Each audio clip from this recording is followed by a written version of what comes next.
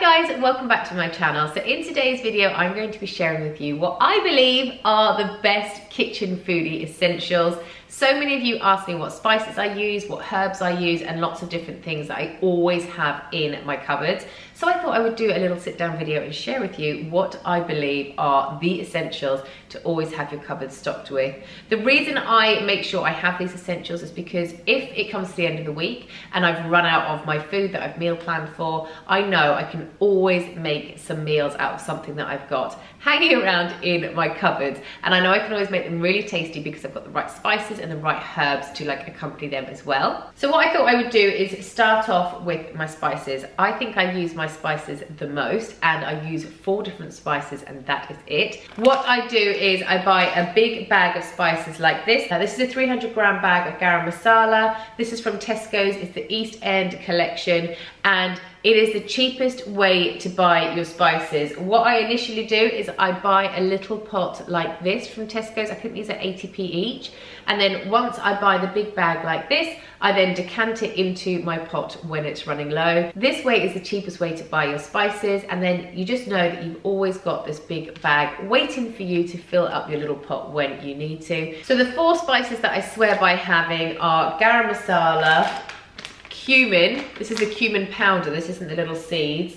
Um, I have got some Madras curry powder. I got a small one of these because I didn't have the large one when I actually ordered it last time. This is a mild one because I have got two kids. They don't like anything too spicy. And I have also got a turmeric powder bag as well. So these are the four different spices that if you have in your cupboard, you can make so many different meals with. If you guys have been watching my channel for a while, then you will know that I do love a curry. My whole family loves a curry and I make all of my curry pastes out of these four spices. I will just mix them together. I put like one teaspoon of turmeric, and then two teaspoons of everything else into a pot with some water, mix it together and it makes such a delicious curry paste. You also wanna add some salt and pepper as well and that is so versatile. I make chicken kormas, I make lentil curries, I make spinach and chickpea curries. So there are so many different things you can do with just these four spices. To go along with my spices, I also always have some paprika in my cupboards.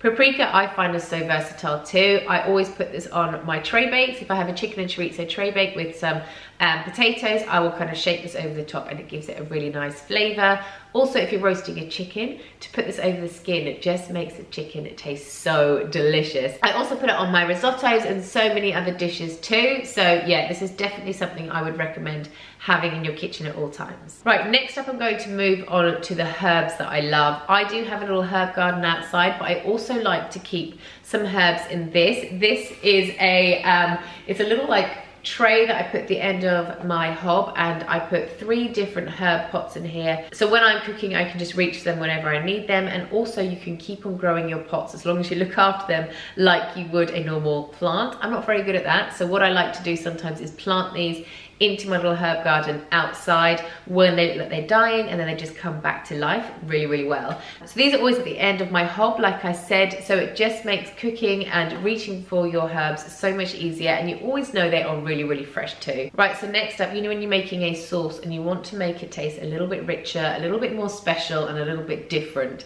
So what I would highly recommend you having in your cupboards are some soy sauce. I again buy a massive one so it lasts me forever and I'm only using one lot of packaging as well so I feel a bit better for the environment. I also make sure I always have some Lea & Perrins in my cupboard and a secret ingredient, if you guys haven't done this before, is in your pasta sauces or in your spaghetti bolognese sauce, put some balsamic vinegar in there. This is a liquidy one and this is balsamic glaze, so it's a bit of a thicker sauce. So not only are these brilliant for salads, but they are also so nice in your sauces too because it adds a little bit of sweetness, especially this one, adds a little bit of sweetness to your sauce, which will make them a little bit different from anyone else's, a little bit unique, and your kids will be like, oh mum, you make a good sauce. Okay, so next up I'm going to show you my olive oil. I think it's really essential to invest in quite a good olive oil. I think you can really tell the difference between different olive oils. If you buy a cheaper one, it'll just be called olive oil, but if you buy a more expensive one, it'll be called extra virgin olive oil. That's always the one that you want to get. I actually bought this from a Greek shop down in Brighton, and for this whole um, tin, which was which is actually five litres, it was only 31 pounds, which I think is really, really good. So what I do with this is I decant it into my little oil spout pourer thing.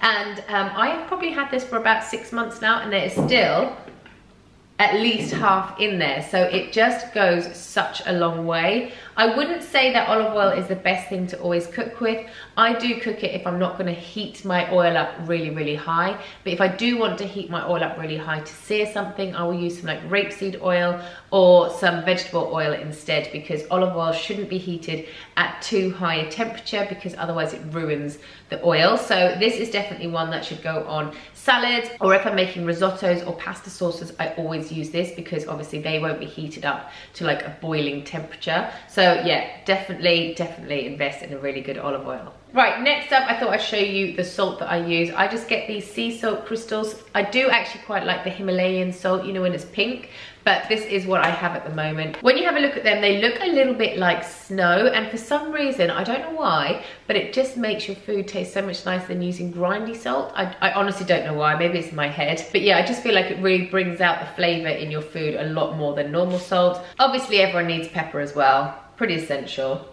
Um, right, next up, lemons and limes. I've always got a bag of lemons and limes, so I'd always recommend having that. Obviously, onions and garlic.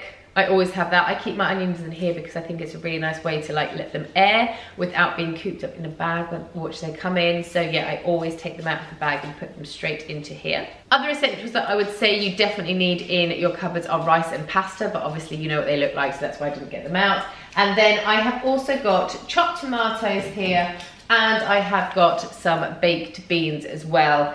If you have all of these ingredients in your cupboard, you will 100% be able to make some amazing meals out of this. You can make pasta sauces, you can make curries, you can make so many different things. I would also really recommend having some frozen spinach in your freezer and also some chickpeas because that makes such a delicious curry. And you've got your curry paste that you can make out of your four different spices. Oh my gosh, I forgot my vegetable stock cube. You have to always have vegetable stock cubes. No matter what meat you're cooking, vegetable stock cubes will go with it. I don't really buy any other stock cubes but vegetable stock cubes because they are so versatile. So yeah, these are a must-have foodie essential in your kitchen. Hope you enjoyed this video and you found it useful. Thank you so much for watching and I will see you next time because I am going to be doing a kitchen accessories essentials video. So that's like pots and pans, what gadgets I highly recommend and I use on like a daily basis or weekly basis. So keep an eye out for that. That will be coming very, very soon. Thanks again for watching and I will see you next time. Bye guys.